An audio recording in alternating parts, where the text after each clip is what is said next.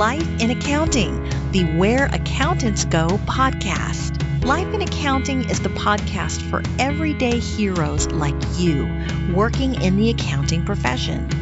Are you ready to hear from accounting influencers, thought leaders, visionaries, and other professionals leading change in the accounting world? Then stay tuned for Mark Goldman, a CPA, the owner of Where Accountants Go, and your host. Welcome to Life in Accounting.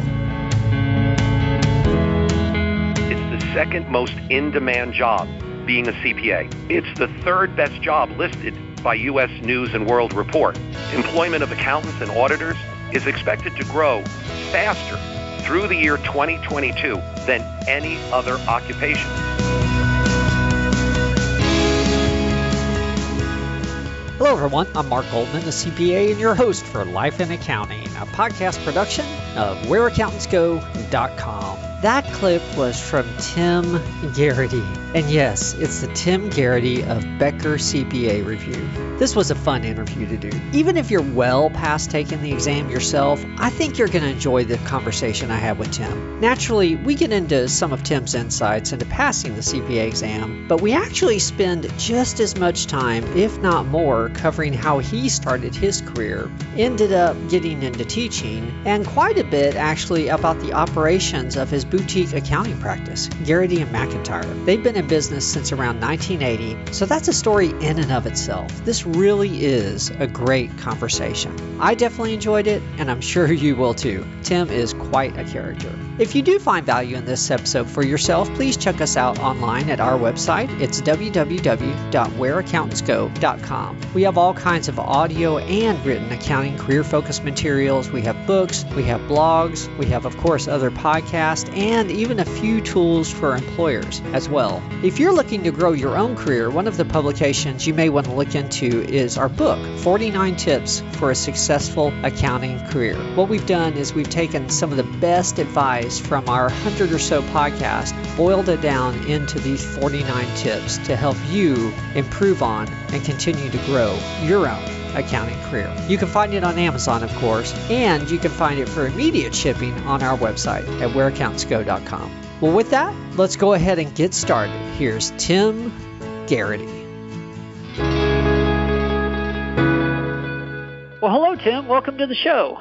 Thank you, Mark. It's a pleasure to be with you here today. I'm excited that we have a chance to interact. Wonderful. Well, for the audience, we have Tim Gearty in New York on the show with us today. And if you recognize Tim's name, that could be for several reasons, but in all likelihood, it's probably because you took the Becker CPA review at some point. Tim's been with Becker since 1980, believe it or not. He's known as the Dean of CPA Review. He's their editor in chief and also the national lead instructor for Becker. Plus, he's been recognized by Accounting Today on the list of the top 100 most influential people in accounting. So definitely a major influencer in our profession. There's a lot more to Tim's story though than just the Becker experience, and we're going to hit upon that as well today. So Tim, I, I definitely want to cover your story and your history with Becker, but I really do want to make sure we get insight into the rest of your career also. What initially led you to think about pursuing accounting as a possible career in the first place? I guess the best way that I can describe it is you know, like any other young little child, I did the paper route. I did the snow shoveling. I did the leaf raking. I did the car washing to make money and make ends meet. But pretty quickly I decided I don't like a lot of physical labor. I decided that maybe I would try to do something a little bit different. And as I grew up a little bit more, I started to find that if you used your brain power, you could make as much, if not more, and didn't leave you exhausted at the end of the day. In fact, I recall once when I was in college, I was dating this young lady and she brought me home to meet her father. And I immediately shook his hand and said, it's a pleasure to meet you. And as he grabbed my hand, his first comment was, these are not the hands of a working man.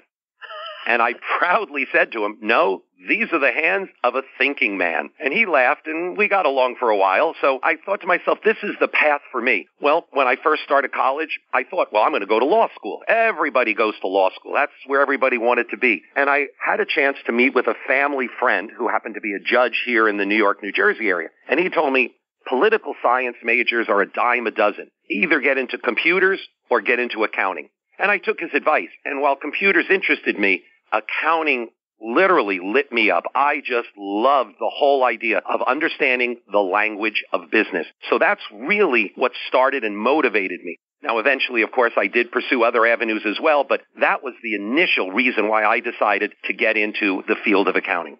Okay, interesting, interesting. So, were you pursuing your law degree at the same time? Am I understanding that correctly? Or? Well, when I was in college, I only majored in accounting, and Okay. I always anticipated that I would eventually use it in order to go to law school to match the two up. But I knew that to really have an impressive academic career and literally impress the admissions office of a law school, having the CPA license would be paramount. And then ironically, I started getting jobs as summer interns between my sophomore and junior and then my junior and senior year in the field of accounting companies in the local area were looking for interns and I happened to get the job. And once again, no physical labor. So it really was attractive to me. And I started to really flourish in that area and heard a lot of good things about the opportunity. So I continued to pursue it, graduated, started working in what was then known as the Big Eight, now of course known as the Big Four, soon probably to be known as the Humongous One if things continue the way they have been going. And I thought, you know what? I'll stay there for a few years. I'll go back to law school and then I'll remeasure things. So yes, I kind of had a dual path planned for myself right from the beginning.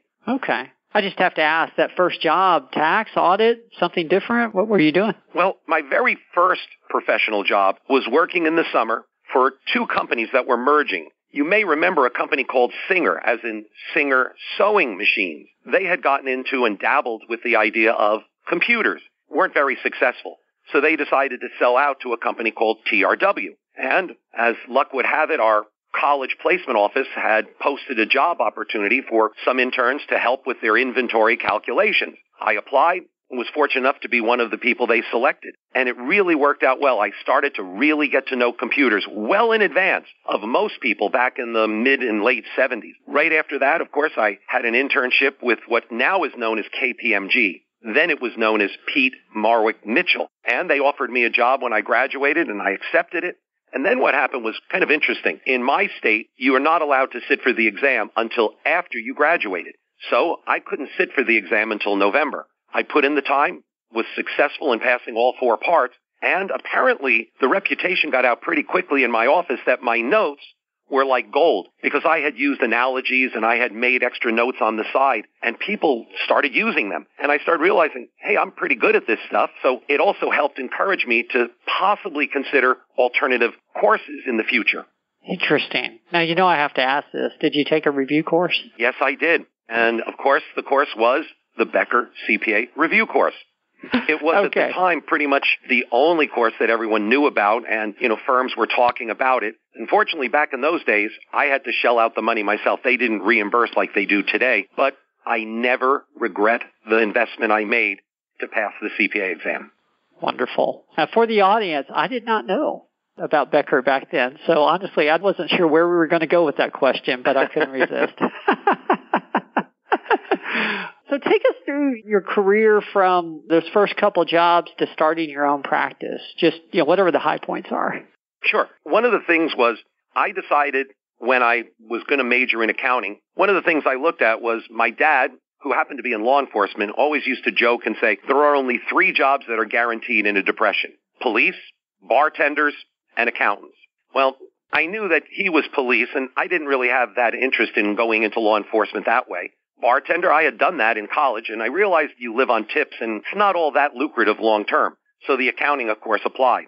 The JD, well, the law degree was because we had family members who were lawyers. And of course, I also noted one other thing. All my friends from high school and college whose families were very well off, their parents were typically lawyers and accountants. And I thought, you know what? If this is what it takes to live successfully financially, I think I'm willing to try to give it a shot. So that's the way I started. So I started by working in public, as I said, with what was then known as Peat Marwick Mitchell, now known as KPMG. Passed the exam, continued for a couple of years, both in the audit and the tax side. I kind of split my time between the two. I really enjoyed both. Then eventually, after my three to four years of being there, I decided, let me go back now and get my law degree. So as I went back, I said, I'm going to take a year off. I told the office, I need a year. I want to get that first year under my belt because I had also, during this time, had gone nights for my master's degree.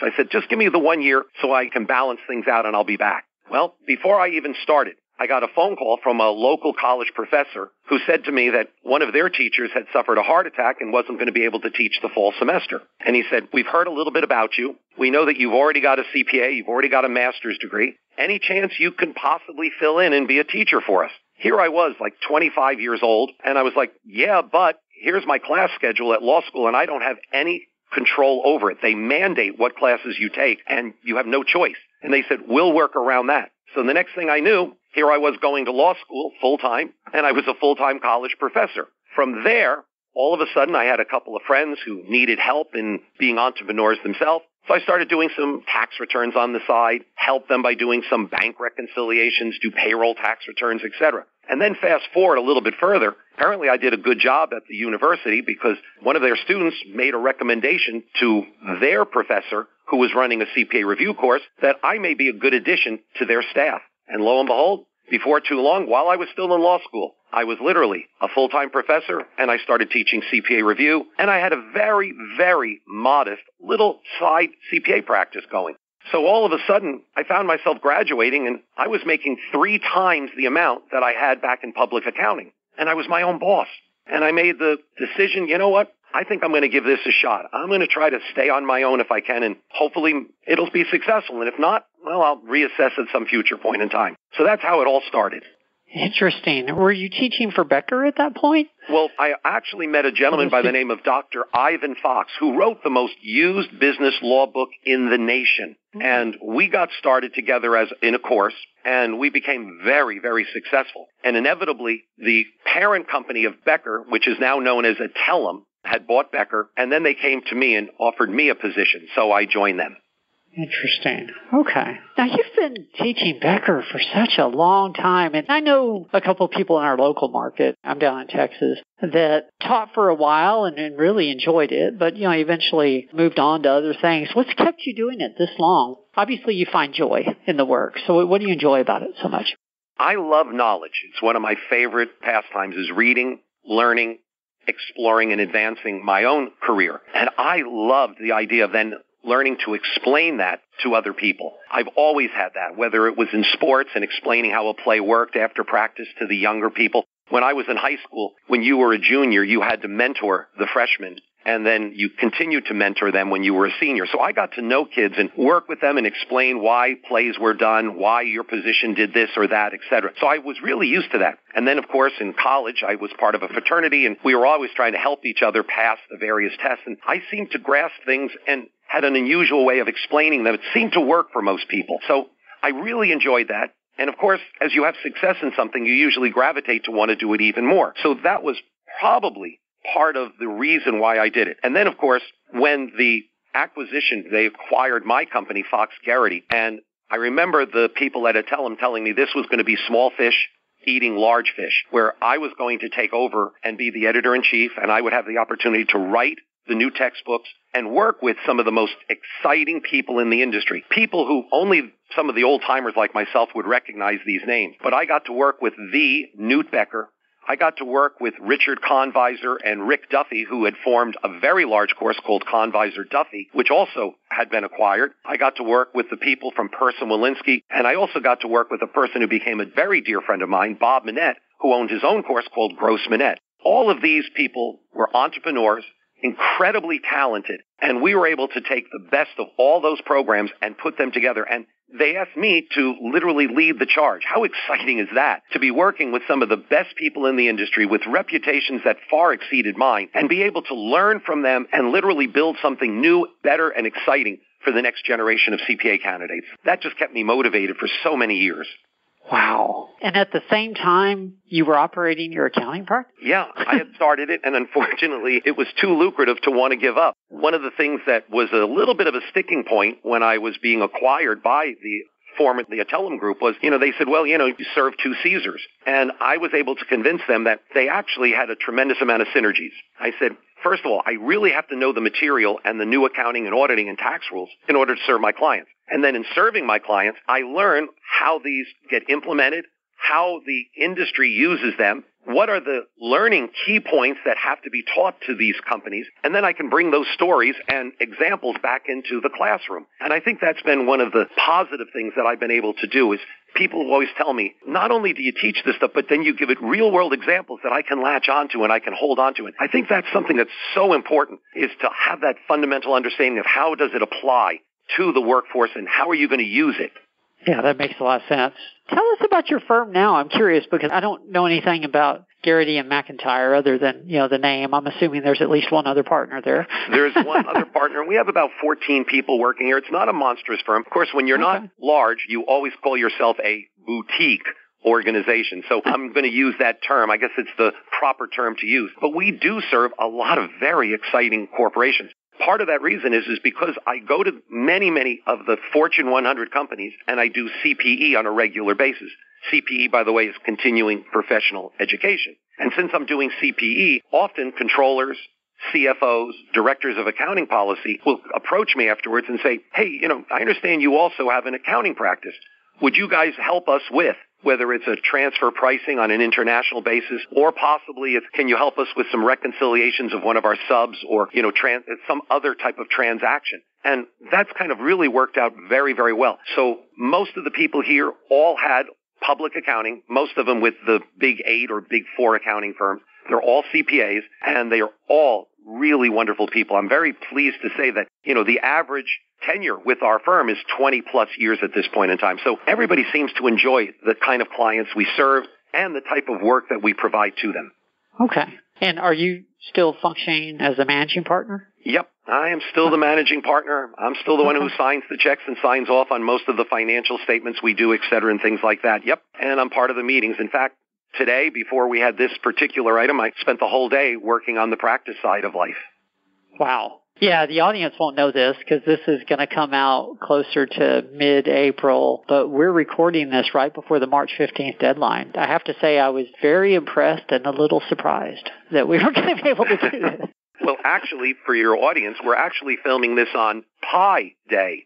March 14th is 3.14. Do you remember from math, pi? That's right. Us math majors always like to refer to it as Pi Day. you are truly an instructor. I hope you mean that as a compliment. yes, yes. I know I'm switching back and forth a little bit. It's just you have a very interesting story. You've had your practice as well now for such a long time. What are some of the things that have either surprised you about being self-employed or you know running your own business or that you had to learn? Let me start with when I first became an accounting major and became a CPA, even when I had gone to law school, you know, my friends kind of looked at me as like, okay, you know, you're smart, but you're boring. You know, these are my buddies that I go drinking with. They wanted to talk sports. They wanted to talk about other things. And of course, I loved accounting. But you know what I found out? As soon as I could help them save taxes, I became a really interesting person to them. All of a sudden it was like, hey Tim, you know, I've got this three bedroom apartment and one of the rooms I'm using as my office at home. You know, what kind of deductions can I get and how can I use my car as a deduction, etc. And while the questions were pretty straightforward back then, boy, it really helped magnify my relationship with them and then became obviously their accountant. So that was probably the first thing was once you can help somebody, you really curry favor with them. What I did discover though was a lot of new skills were needed. When I first started on my own, I learned that I had to go from being just a technician to learning how to manage other people. Not only managing other people, but then becoming a salesperson. And then becoming a salesperson, learning how to finance the business and manage the cash flow. And I learned very, very quickly that you manage things and you have to lead people. There's a distinction between the two. And that took me a while. And in fact, I really understood that there was a big difference between small entrepreneurship and large corporations. In fact, one of my dearest friends happened to have been the CFO of a major Fortune 100 company. And when ultimately it was acquired by another Fortune 100 company, his job was eliminated. The other CFO won the job. So he went out, you know, Tim, I'm going to start my own consulting practice. I had so much experience and I have a reputation. Well, after a few months, he came to me and he said, I didn't realize all the new skills you have to learn when you're an entrepreneur. He said, mm-hmm. I'm so used to looking at things at the high level, and now I'm down in the bushes, and I'm literally, you know, raking the leaves, so to speak. And I said, yeah. So obviously, you know, that was part of it. And my dad always told me that if all you want to be is an employee, you'll work 40 hours. If you're a manager, you're probably up to 50 hours a week. become the boss and it's 60 hours. And if you want to be the owner of a company, figure about 80 hours a week is going to be your normal. And I realized, you know, the higher up you go, it's not easier, it's more challenging. And that was probably part of the learning curve that I had to take as I've gone through it. And by the way, I don't even want to infer that I haven't stopped learning. Every day I'm learning something different, something new that can help improve my business. And then I can bring that into the practice and I can bring that into our training programs. You really do bring a lot of value to the review course because you're still in it every day. You know, I'm very active in the profession outside of just teaching. I can see that. Mm, that really is good value. Sorry, I was just reflecting a little bit on your story there. I, That's all right. I, if you want to keep sending compliments my way, I'll keep quiet for a while. I never object to a compliment. well, I'm sure you talk about this all the time, but I wouldn't be doing my job if I didn't ask. Give us some tips for passing the exam. What do you think people are doing well these days with respect to working on passing the exam? Boy, that's an important question, isn't it? Well, the first thing I'd like to say is one of the mottos I always tell when I'm speaking to students in a classroom environment, say in college, to convince them, I'll always say, remember, today's preparation will determine tomorrow's achievements. I tell them there's three C's that go into this. Now, the three C's are, first of all, have confidence. And I always like to remind them, whether you think you can or you think you can't, you're right. So have confidence because if you believe in yourself, that is one of the biggest steps towards passing this exam. I've seen kids who've come from second tier and third tier schools who only had C averages because they were working so hard and now all of a sudden found themselves not getting that full-time job upon graduating. And they said, you know what? I'm going to take the next couple of months and I'm going to bust my chops and I'm going to do whatever it takes to pass the exam. I'll take that kid any day of the week because they're determined and they're confident they can do it. The second C is commitment. I always like to tell them there's no right way to do something wrong. So figure out how to do it right. And from there, the third C is choose the right course of action. Now, for some people, that may be self-study. I'm not going to try to sell anybody on only our course. There's different reasons that people will do different alternatives. But what I'm always going to tell them is be aware when you look at it because some courses of action will give new meaning to the term cruel and unusual punishment. We've all had the horrible teacher or the horrible book that doesn't help us at all. So make an informed decision about how you're going to attack this exam. That's some of the biggest items that you have to do. And if you do those things, then you ultimately make that commitment. You have the confidence. You choose the right course of action for you. Then under those circumstances, you've got a tremendous chance to pass the CPA exam. Mm. So we have a general audience, obviously. And so give us some tough love tips what do you see people doing wrong? What are some of the pitfalls? When you see people not passing the exam, what do they need to know? Another great question. My experience, and I've had unfortunately 40 years of experience, you know, I've been out here for a long time. Typically, one, they literally are missing one of the three C's. Either they lack confidence, and the first time that they have any failure, whether it's on a pretest that they've done through the course or whether it's they took a part and they didn't quite get the numbers they wanted. They literally start wobbling and they decide, well, this is not for me. I'm not that kind of a person anyway. Have the confidence. Keep going back. As I always like to say, you're never measured by how many times you fall. You're measured by how many times you get up. That's the success of any person. We all stumble. We all have failures. But all successful people got up. Literally, you've heard the old expression, they got themselves up by their bootstraps and they continued. The second biggest one is some people don't make the commitment.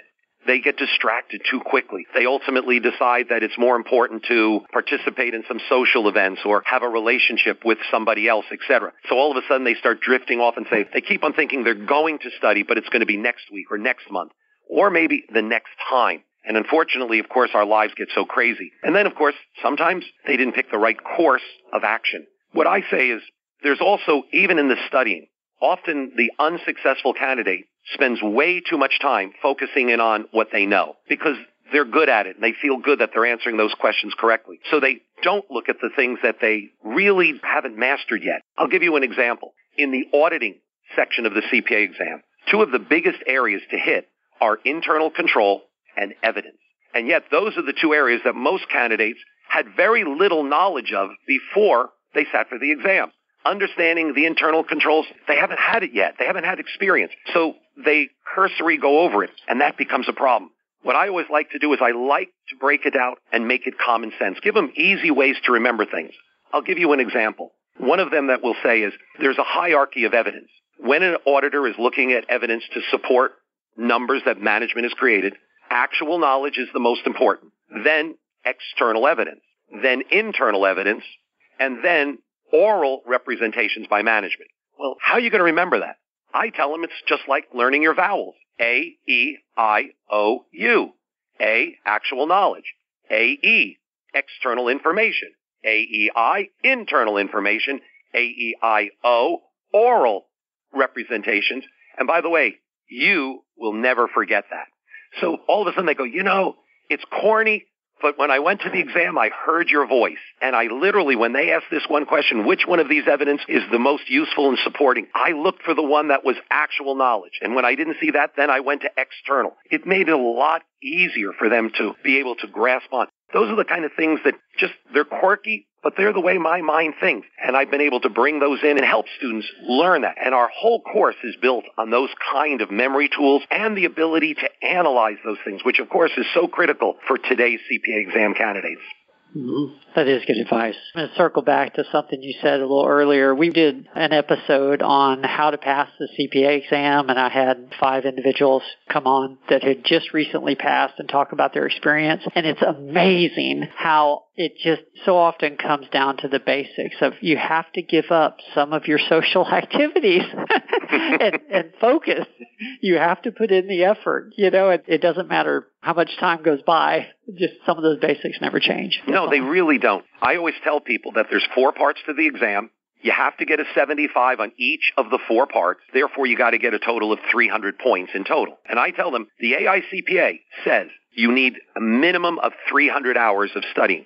And I tell them, keep a little chart, set up an Excel spreadsheet. Every hour you put in, whether it's in the classroom or doing the studying on your own, is worth one point. Therefore, if you put in 300 hours, you're probably going to earn 300 points. But do you want to call it that close, where one bad question, one bad answer could maybe throw you off by a point or two? So put in a little extra in each part. But think of it as every hour, you're one point closer to passing the CPA exam.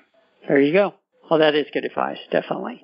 Well, before I get to the final questions that I end every podcast with, there's one more. You've had such a successful career and continue to, but I'm really curious with you on this one. Thinking about your own career, if you could go back in time and give your younger self just one piece of critical advice, what do you think you might say? Wow, great, great question. You know, I'm not sure I can limit it to one, but I can tell you what I would tell myself if I had a few minutes to talk with the younger me. One, I would say, first of all, keep learning and keep believing in yourself. As we said earlier, whether you think you can or you can't, you're right.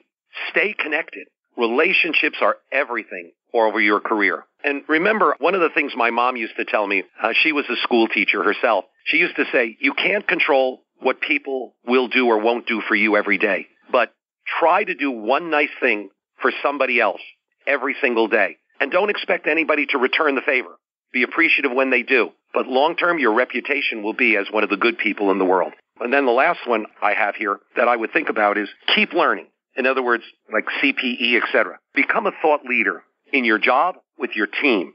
For me, CPE allows me to teach and obviously I become a thought leader there. I'm able to teach the lectures to major corporations and all their accounting teams. I see how they're learning it, where they're having struggles, and then I'm able to take all of that because it's usually cutting edge stuff that just came out, which won't be tested on the exam for six more months, and I can master how to teach it. So when I go into the classroom for our CPA review course, I've already taught that lecture multiple times to multiple groups. So I've gotten to see how they learn, where they struggle, where the examples work, and where I need to ultimately manipulate something a little bit extra. Because obviously, becoming a professional is so important. If I can share with you, Mark, one or two interesting aspects about being a professional. Literally, According to magazines, it's the second most in-demand job is being a CPA. It's the third best job listed by U.S. News and World Report. Employment of accountants and auditors is expected to grow faster through the year 2022 than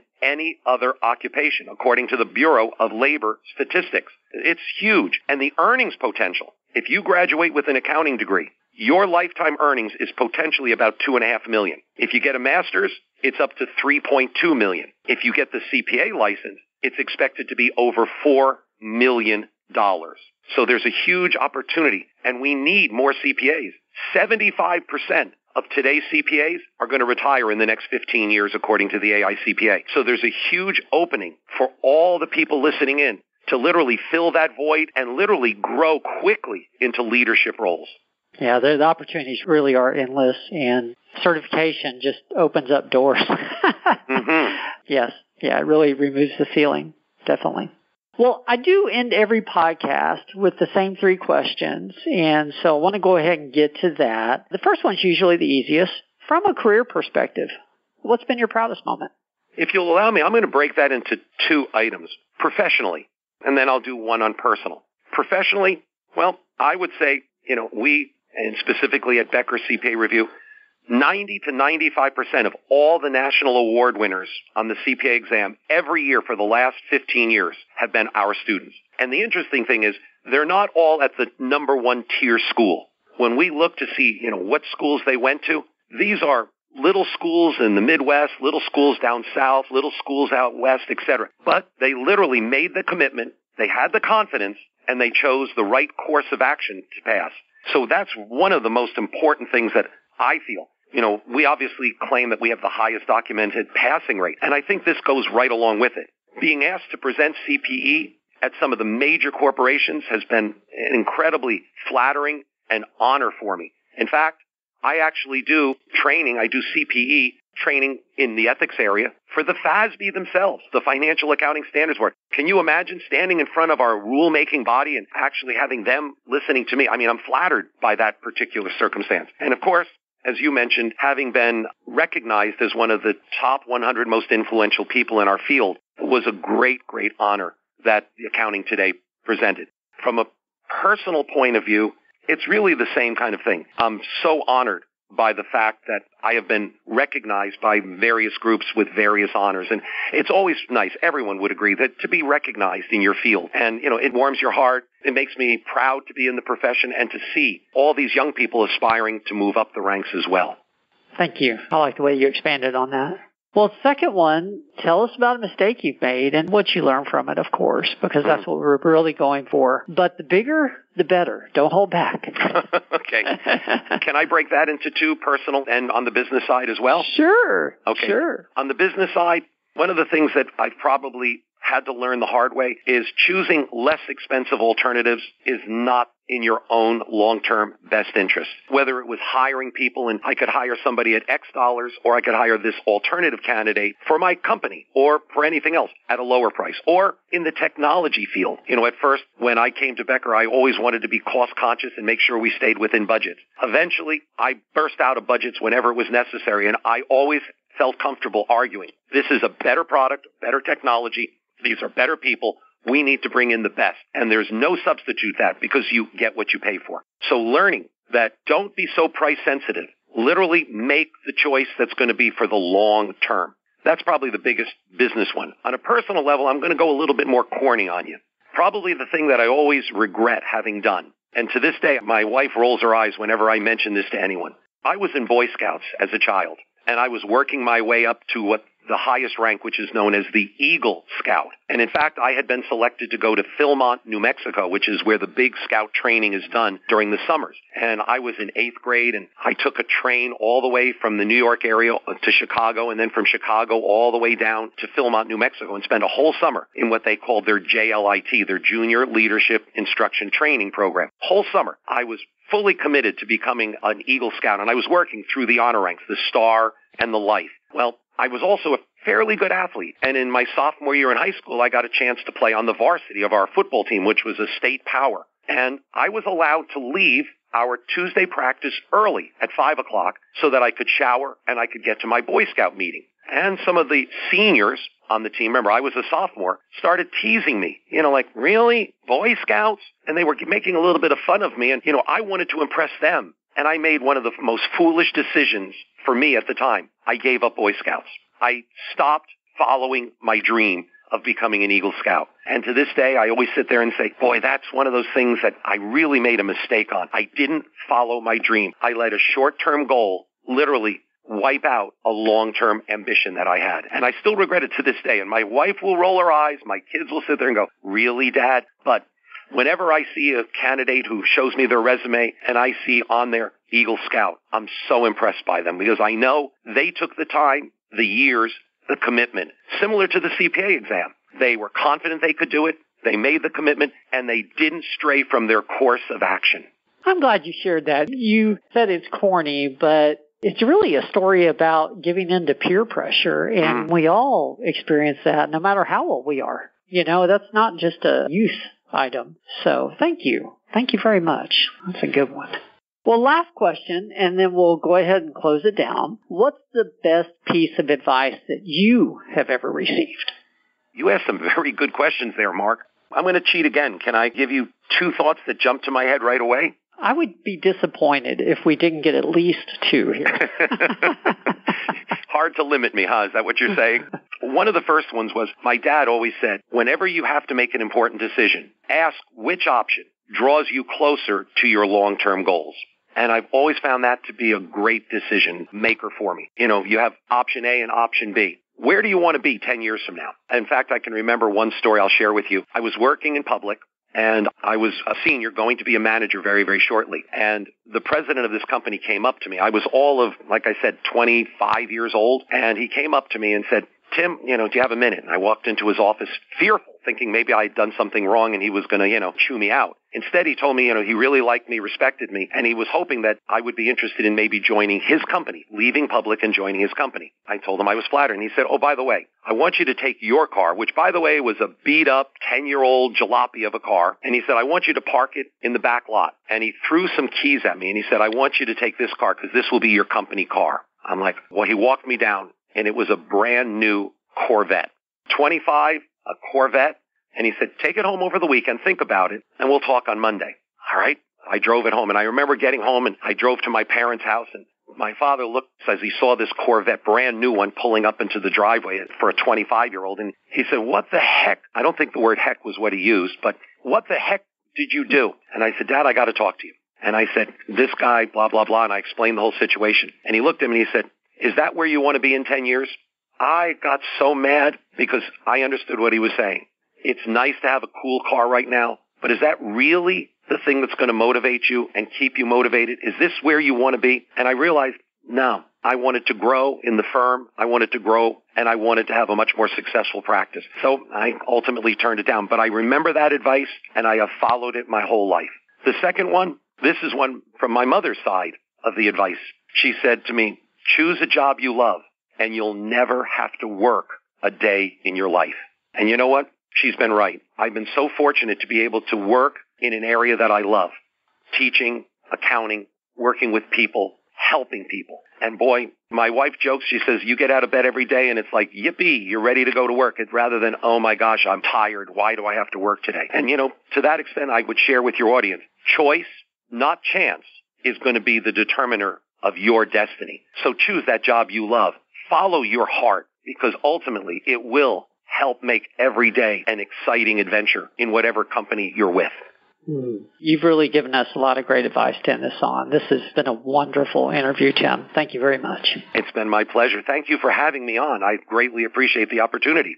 No problem. Well, for our audience, this has been Life in Accounting, a podcast production of whereaccountantsgo.com. If you haven't yet visited our website, please do so. You can find the show notes for Tim's episode, of course, as well as all our 120 plus now previous episodes. And we have an extraordinary amount of career related content for accountants as well. Once again, that website is www.whereaccountantsgo.com.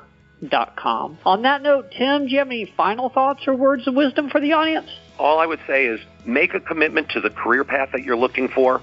Don't procrastinate because our lives get crazier as we go along. Make that commitment now. Follow my three C's and you will be successful. Beautiful. Well, thank you again to the audience for joining us. We will see everyone next week. There's more to come.